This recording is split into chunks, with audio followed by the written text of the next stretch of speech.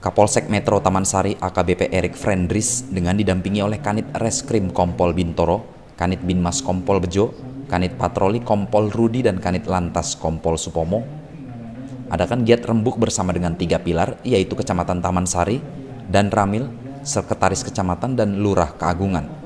Rembuk ini bertujuan untuk mempermudah tugas tiga pilar serta menjalin keakraban bersama warga.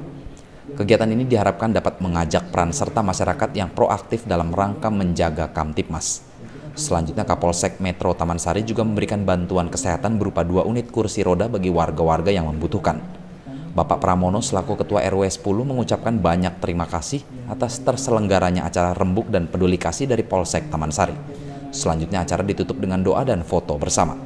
Dari Jakarta, Tim Liputan Tribrata TV, Salam Tribrata.